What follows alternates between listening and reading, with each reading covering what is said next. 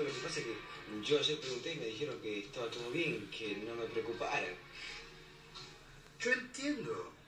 Nada me parece bien, es pintoresco, juvenil. Pero hay un momento en que hay que cambiar. ¿Pero por qué? Bueno, porque las circunstancias así lo exigen. ¿Qué tipo de circunstancias? Usted va a llevar material de nuestra empresa a otros lugares. De modo tal que su imagen es la imagen de nuestra empresa. Y no podemos arriesgarnos a ser llamados desprolijos. Ah, sucios quiere decir. No, no, no, no, no es mi intención faltarle el respeto. No, no me está faltando el respeto, yo no me considero sucio. Simplemente uso la ropa que quiero y el pelo como me gusta, nada más. Pero debería cortárselo. ¿Pero qué tiene que ver el pelo con que sea o no un buen empleado? Puedo ser un tarado y afeitándome la cabeza voy a seguir siendo un tarado, ¿no le parece? Eso le suena más a capricho que a otra cosa. ¿Capricho mío o suyo, señor? Yo soy representante de esta empresa. Y aquí las consignas son muy claras. Para la empresa. Pero para el trabajo que tengo que hacer acá, el pelo me sirve perfectamente así como está. Perdóname, pero de verdad me parece eh, estúpido, ridículo que me quieran hacer cortar el pelo. ¿Qué es? ¿Un símbolo? ¿Una bandera? Es pelo, simple y natural, como el suyo, señor. Yo dejaría las ironías de lado. Vea, yo creí que podría entenderme con usted. Pero es imposible. Para usted es una cuestión de principios. En mi opinión, un absurdo. Simple rebeldía adolescente que no se condice con su edad, señor. Un conejo. Y no me diga que le causa gracia porque a mí no me hace reír nada. Ah, además de rebelde e insolente. No, no soy insolente. No soy insolente. Me revienta que tipo como usted me enseñe a vivir. Eso me revienta. Que lo único que se preocupan es por la ropa que usamos o la cantidad de pelo y no por lo que tenemos dentro de la cabeza. Por eso. Le ayudaría por terminada su presencia en esta empresa. Además quiero decirle algo. Hay miles de jóvenes esperando para trabajar con mucho menos aire que usted y con muchas más ganas. Así que vaya, pase su pelo por las calles. Si para usted es tan importante, Para usted es importante. Yo ni me fijo. hágame el favor de retirarse. ¿Sabe qué? El favor me lo hago a mí. La vida es una moneda.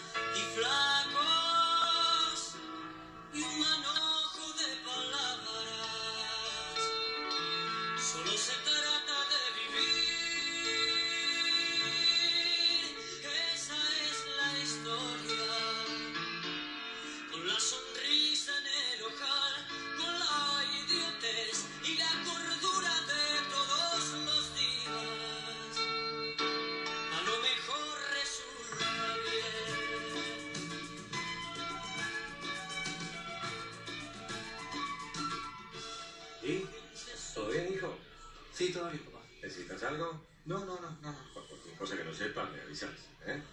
Mira, ahí abajo hay una mujer que te está esperando. Eh, empieza tranquilo. Mira, este inyectable lo pedís en la farmacia y se lo aplicas intramuscular. ¿Está claro? Sí, papá, sí. Bueno, no, no me aflojes ahora, ¿eh? No, no, no, no, papá, no. Suerte. Gracias. André, Espera, espera. ah, gracias. ¿Todo bien, doctor? Sí, sí, todo bien. ¿Sientes muy feliz? Sí, sí, sí. Me siento feliz. ¿Por qué? Es un llamado muy importante de la administración. ¿Quién es? Tu mamá. Hey Jude, don't make it bad. Take a sad song and make it better. Remember to let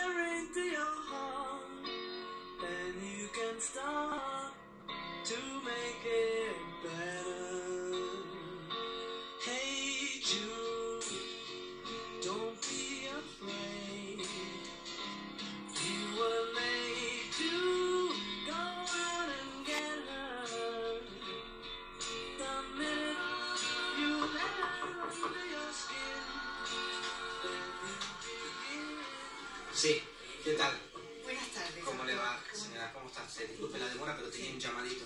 Enseguida estoy con usted. Sí. ¿Sí? Eh, aquí tiene. Sí, pero después lo vemos. Tranquilízate. Acuéstese, por favor. Escúcheme, doctor. No, eh, mire, todavía no soy doctor. Pero igualmente no le va a doler nada. Relájese.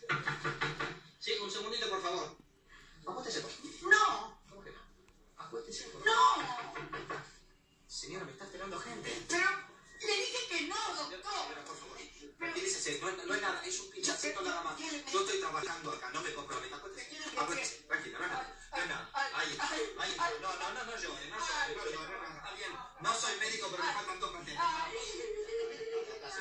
señora, en un minuto está fuera. ¡Ay, no!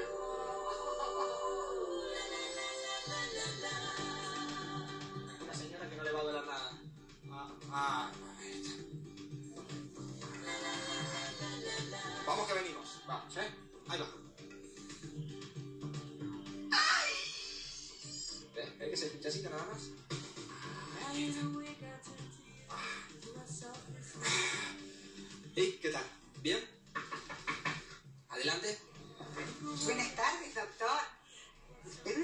Me va a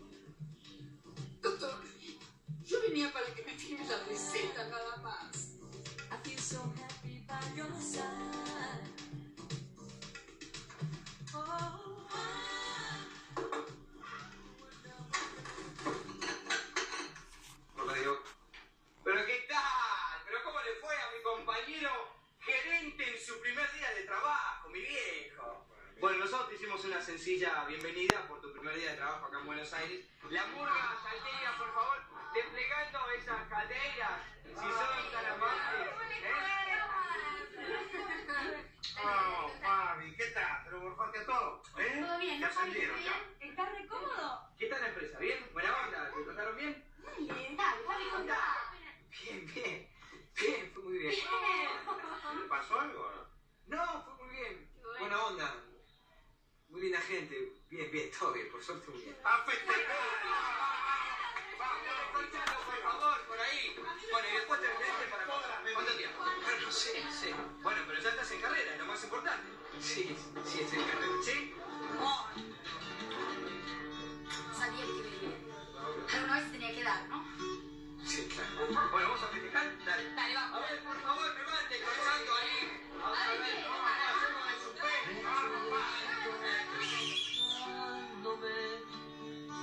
No tienes profesión.